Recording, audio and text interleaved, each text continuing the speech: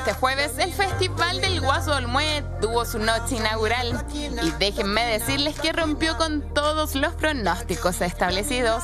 Y es que el Patagual y las redes sociales se encendieron desde el primer minuto con su emotiva y contingente obertura, la cual contemplaba los bailes típicos de diferentes países de Latinoamérica, dejando un claro mensaje. Ser inmigrante es difícil, pero Chile es el país que hemos escogido. La obertura de Olmué TVN le voló las oberturas de los últimos siete años en el Festival de Viña. Me encantó la obertura del Festival de Guasó Olmué TVN, haciendo la repasada a los bailes folclóricos de los inmigrantes en sus respectivos países y que llegan a buscar mejores oportunidades a Chile. Notable, se anotó un poroto grande este festival. Un haitiano gritando HI en el Patagual, en una tremenda obertura, tomen xenófobos de mierda, Olmué TVN. Dando el puntapié inicial en lo musical, debutó en el Patagual el puertorriqueño residente.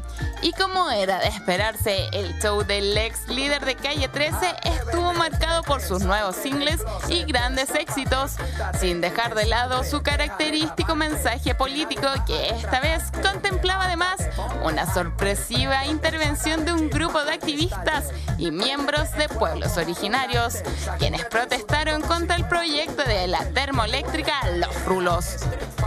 Con una intervención de tres minutos al show de Residente quedé más informado que con una hora 30 de prensa.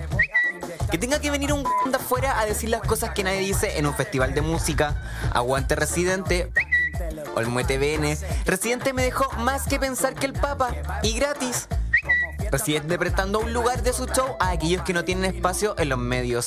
Queremos más artistas así. Gigante Residente. Olmue TVN.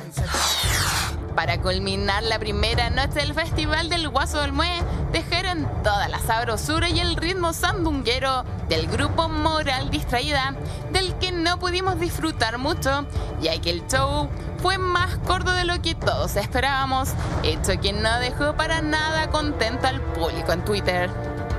Olmue TVN, qué desubicados cortar el show a la moral. Falta de respeto con un grupo chileno. Mal ahí TVN. ¿Cómo? Esto es lo que odio de estos festivales. El corte feo que le hicieron a los cabros de la moral. Olmue TVN. Olmue TVN, qué vergüenza despedir un grupo así. ¿Fueron cuatro canciones? ¿Y a ustedes qué les pareció la primera noche del Festival del Guaso Olmue? ¿Logrará este certamen superar al Festival de Viña del Mar?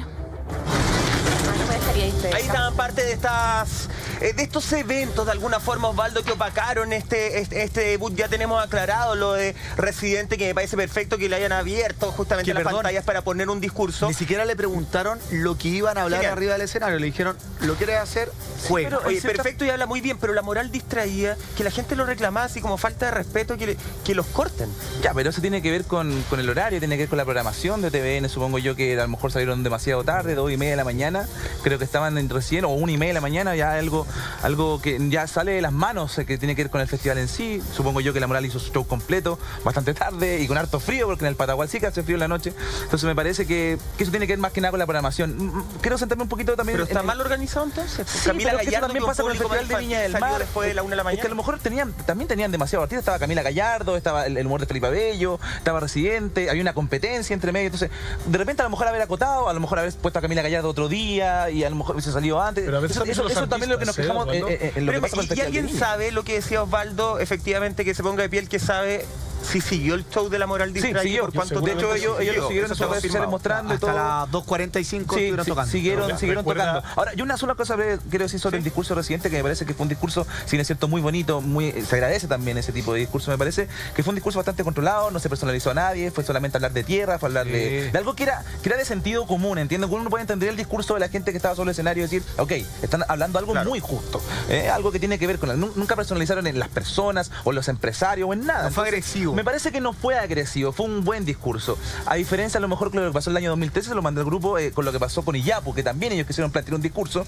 y en ese momento la alcaldesa, que sigue siendo la alcaldesa hasta el día de hoy, dijo que de discurso político se no iba a permitir en su festival. Ocupó la palabra mi festival, eh, eh, aduciendo al, discurso que hablaba Iyapu. Entonces me pregunto yo, ¿hay una discriminación acá? ¿Se le permite a Residente hablar sobre algo que tiene que ver con nuestro país y no hay Iyapu en el año 2013? discriminación, Nati, frente a tus ojos? Yo creo que es que Es imposible invitar a Residente si no te vas a hacer cargo de su discurso. O sea, Residente es eso, es un activista social. Siempre cuando se pone en el escenario algo transmite. Entonces, en el fondo, si vas a invitar a Residente, es como si invitas a Jorge González, como que uno conoce a sus artistas, uno sabe con quién está tratando. si saben cómo es? Exactamente, o sea, Residente es eso. Eh, y con respecto a la moralista, ya creo que estuvo muy entretenido, porque filmaban a Denise Rosenthal, filmaban también a la diputada Camila Vallejo, que estaban bailando, dando la vida con las canciones.